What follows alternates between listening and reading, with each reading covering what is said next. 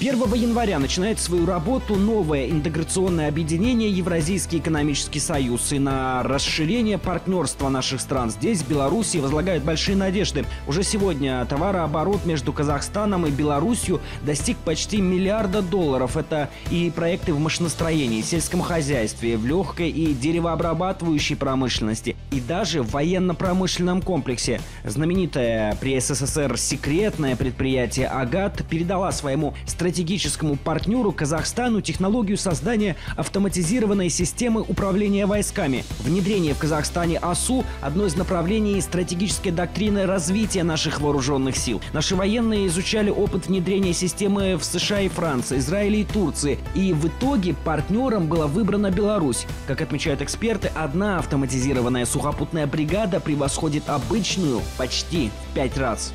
Казахстанские специалисты участвовали в этом процессе, причем очень активно, потому что ну, у нас вообще-то построено так принцип, то есть мы даем свои предложения, как ну, сторона, которая э, продукцию предлагает. Там они тщательно изучались. После этого к нам, в общем-то, выезжала группа казахстанских представителей на место сюда, и она изучала уже конкретно по факту, что есть на самом деле.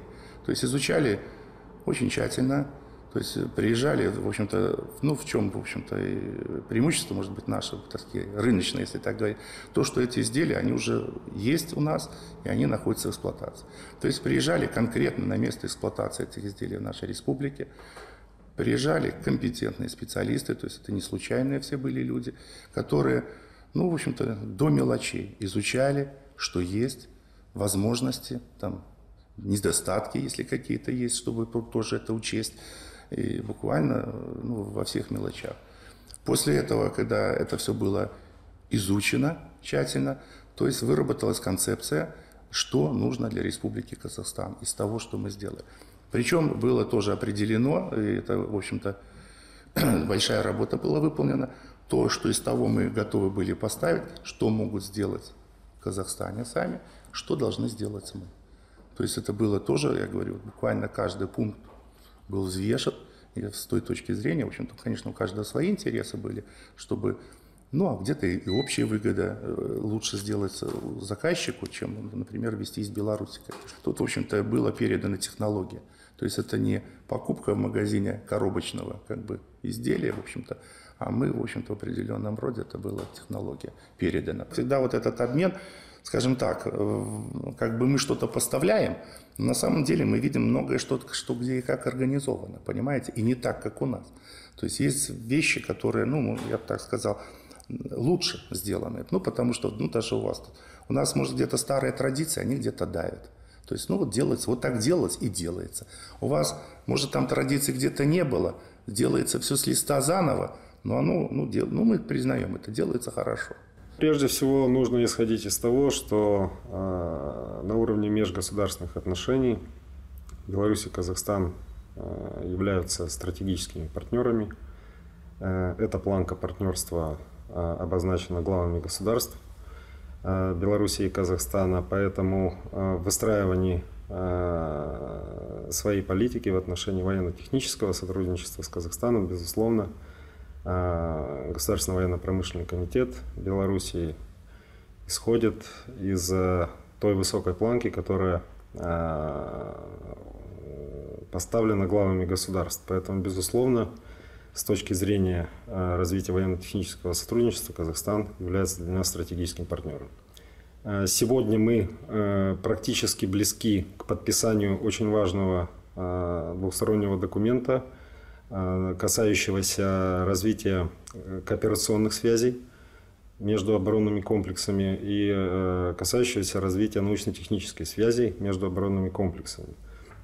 Мы исходим из того, что для современного Казахстана есть уже определенные приоритеты в развитии своего оборонного потенциала, в развитии своих вооруженных сил. Они закреплены в военной доктрине – Э, Республики Казахстан, утвержденный э, президентом э, Казахстана в 2011 году. И мы предлагаем, мы, я имею в виду Беларусь, предлагаем Казахстану работать практически по всем направлениям, представляющим взаимный интерес с пониманием, что у Беларуси в этой области сформирован достаточно большой опыт в части наработок по конкретным направлениям в области военно-технического сотрудничества. Что имеется в виду? Прежде всего, это совершенствование системы ПВО, это э, автоматизированная система управления войск и вооружениями, э, это подготовка э, кадров на базе Военной Академии Республики Беларусь, прежде всего кадров офицерского состава. То есть мы не ограничиваемся стремлением поставок тех тех или иных видов э, вооружений иностранным партнерам, а именно идем сегодня или отталкиваемся в э, выстраивании наших отношений от э, новых форм, которые могут быть интересны нашим потенциальным партнерам, в том числе и Казахстану. Поэтому в работе с Казахстаном, безусловно, у нас э, присутствует элемент и трансфера технологий, и элемент создания совместных предприятий. Из множества казахстанских партнеров Беларуси стоит отметить и работу со знаменитым БелАЗом. Этим громадным машинам работы в Беларуси нет, а в Казахстане они катаются по карьерам еще со времен Союза. Сегодня БелАЗ обладает машинами самыми грузоподъемными в мире и, открывая совместные компании в Казахстане, рассчитывают э, с конкурентоспособным автотоваром выйти на рынки Центральной Азии. Здесь на Белазе понимают, что значит стране освоить добычу полезных ископаемых, как это нелегко сделать в современных условиях. Отношения Белаза и Казахстана традиционно с советских времен достаточно плотные. Э, нам очень интересен этот рынок. И казахские предприятия тоже с удовольствием работают с техникой БелАЗ. Со времен Советского Союза техника там зарекомендовала себя хорошо. Работаем мы достаточно плотно. Сама э, линейка БелАЗа, она очень серьезно обновляется каждый год. У нас есть даже модели, те, которых еще нету конкурентов. Например, 450 тонн он единственный в мире на данный момент.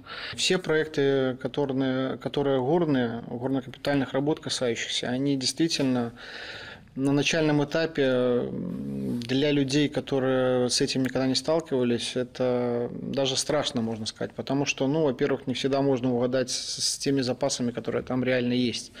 Конечно, цифры считаются, они, может, красивыми получаются, но когда сталкиваешься непосредственно уже уходя в землю, когда там вылазят какие-то геологические нюансы, которые очень серьезно могут на инвестиции влиять. Это, ну, действительно, скажем так, одно из таких э, областей, которые требуют очень серьезных инвестиций, серьезных продуманных подходов. Это гигантские все вещи, потому что это как смотреть, там, например, с телевышки фактически, потому что ну, карьеры есть глубиной там, там 500-800 метров, и там действительно машинки выглядят совсем маленькими, то есть масштабы карьеров, которые там есть во всем мире, они действительно очень серьезные, поражают воображение. Я убежден и вижу, что э, насколько активно, э, целенаправленно, динамично, эффективно развивается Казахстан. Очень вырос э, профессиональный уровень специалистов. И почему вот мы сейчас меньше бываем в Казахстане, потому что специалисты такого уровня, что сама помощь почти не требуется. На Белазе всегда мы, мы смотрели на, на Казахстан, как э, на, там, на наших э, друзей, давних партнеров и, и на э, заказчиков, которых мы крайне заинтересованы, и, и с которыми очень легко работать. Потому что у нас, во-первых, старые, давние наработанные отношения, не только, так сказать, в техническом плане, но и в личном плане. Сама этот. И э, это уже как, ну, как братья, как, э, как братья, как самое, что есть, э, самое ответственное отношение. Не, необычайно приятно, что, в принципе, вот отношение к экономическому развитию президента нашей страны Александра Ивановича Лукашенко и э, Нурсултана Абишевича, они похожи абсолютно. И я думаю, что это не только близкое по духу люди, но близкое по пониманию развития экономики страны. Сегодня э, в Казахстане много программ, которые поддерживают э, средний и малый бизнес, ну и даже крупный бизнес, поддерживают банк, банки, поддерживают вообще различные отрасли экономики страны. И, соответственно, это притягивает бизнес и способствует появлению новых э, компаний, новых производств и новых направлений в бизнесе. То есть сегодня страна не безучастна к тому, что происходит в частном секторе экономики. За экономическими составляющими сотрудничества Казахстана и Беларуси нельзя забывать и о связях культурных, научных и гуманитарных. И в Беларуси это чтут и уважают. На базе Белорусского национального технического университета открыт кабинет имени Абая, который стал центром белорусско-казахстанской дружбы. В данном случае мы находимся непосредственно э, в кабинете имени Абая, то есть в центре белорусско-казахстанской дружбы и культурных связей. Получилось так, что на базе Белорусского национального технического университета существует Международная ассоциация выпускников белорусских вузов, граждан ну, других государств. Но учитывая то, что с Казахстаном нас связывает старая дружба, это и совместная так сказать, э, работа в рамках бывшего союзного государства. Ну и сегодня мы работаем и сотрудничаем в рамках единого экономического пространства, хотя наш вуз технический, мы очень большое внимание уделяем не только техническому образованию, как говорится, и каким-то бизнес-проектам, образовательным проектам, ну и культурным связям. То есть наши люди должны приходить сюда, знакомиться с литературой в Казахстане, если надо, получать какую-то информацию дополнительную. Хотя есть и интернет, но я думаю, это тоже не лишняя вот такая живая информация. Аналогичный, кстати, центр есть и в Евразийском университете. Там собран весь материал, ну, который мы смогли предоставить, наше посольство, по Республике Беларусь. А здесь несут постоянную вахту во время перемены после уроков. Так чтут экспозицию «Святыню школы». Пять лет назад в Минской школе номер 143 было присвоено имя Мухтара Ауэзова. Здесь представлена экспозиция фотографий, на которых запечатлен Мухтар Ауэзов, поездки в Северную Америку и Индию в кругу друзей, э, семьей. Ниже представлены копии документов, связанные с научной и творческой деятельностью. Здесь находятся библиографические рефераты, э, посвященные казахскому писателю, а также решение Мингорисполкома о присвоении средней школе номер 143 города Минска имени Мухтара Амархановича Ауэзова. Творческие работы учеников, которые были созданы специально для участия в конкурсе, который проводит посольство Республики Казахстан. Для учеников младших классов старшеклассники поставили отрывок из пьесы Мухтара Ауэзова «Янлик Кебек». Написанная в 1917 году, она повествует о трагической любви. Здесь, в 143-й школе Минска, гордятся, что она идет на их сцене. Ненаглядная моя, крылья мои, мы с тобой как звери прячемся от глаз людей. Да будет проклята жизнь в изгнании. Конечно, будь я один, ринулся бы навстречу своей судьбе. Если суждена смерть, принял бы ее достойно. Исполнительница роли Янлик, десятиклассница Людмила Беляева, в прошлом году выиграла конкурс «Главный приз. Поездка в Астану». Целая группа белорусских школьников тогда увидела Казахстан и нашу столицу. Э, я первый раз летела на самолете. Это было очень страшно на самом деле. Э, когда мы туда прилетели, первые впечатления просто незабываемые. Там очень красиво, э, очень красивые здания. Мы приехали ночью, и поэтому Везде горели фонари, было очень красиво.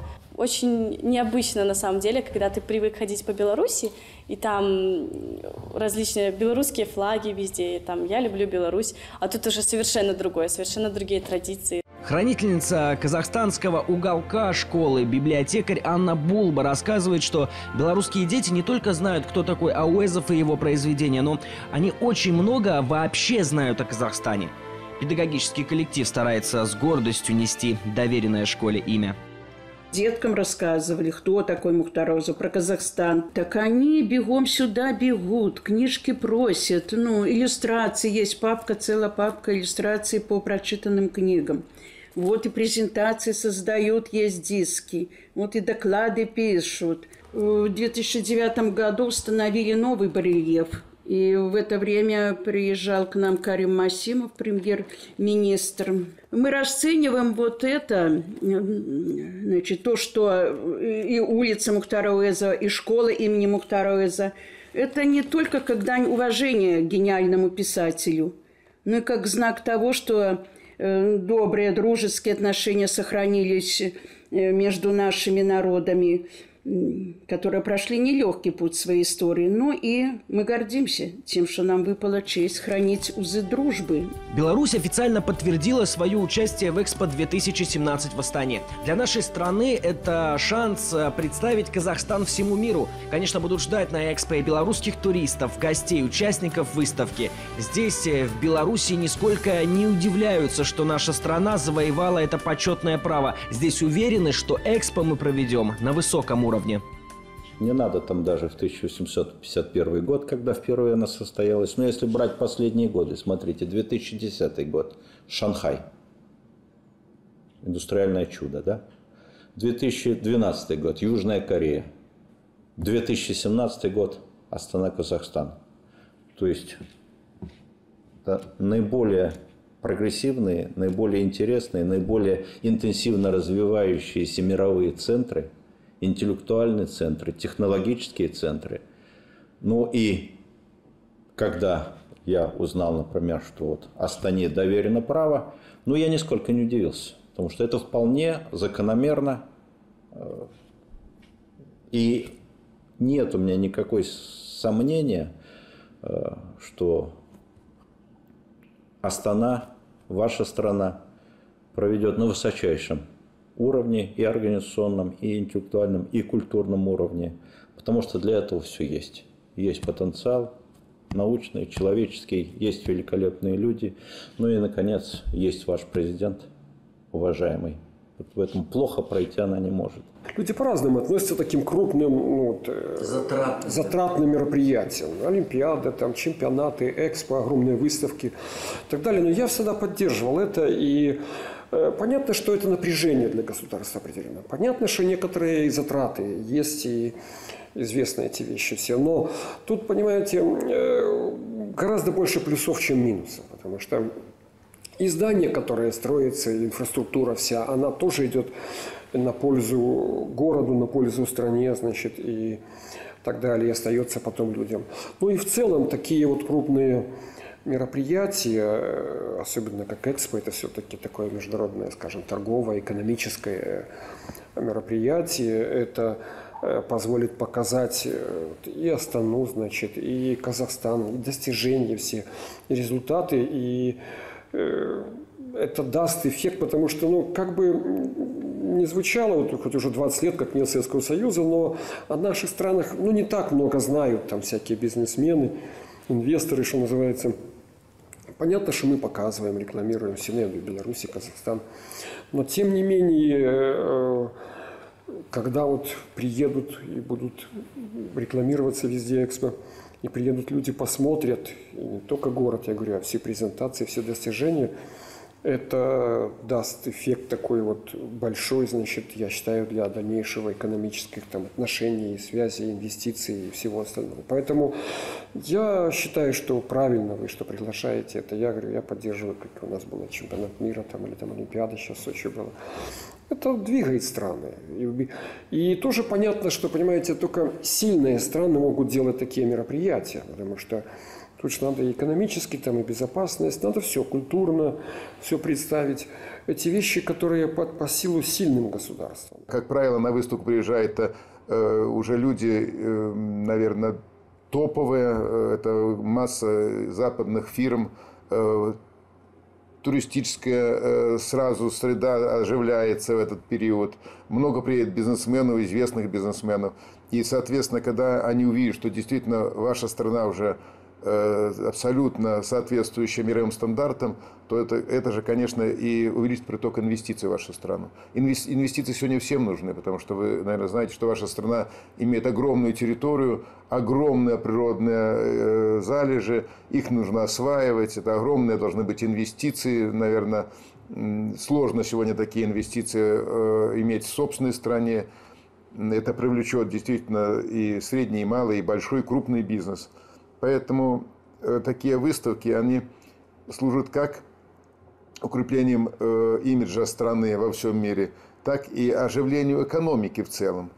И такие мероприятия, они, безусловно, требуют много вложений, но я думаю, что отдача всегда будет э, более высокой. Здесь в Беларуси знают наш Казахстан, знают наши просторы, наши степи и горы. Здесь знают наш народ и нашего президента. Здесь знают о нашем э, гостеприимстве, достижениях и планах, о нашей нефти и тенге. Здесь знают об Астане, яблоко Халматы. Здесь знают о Каспии, о Бае и Ауэзове. И когда спрашиваешь у белорусов, какой он Казахстан, они отвечают – сильный. И добавляют, что мы этому только рады.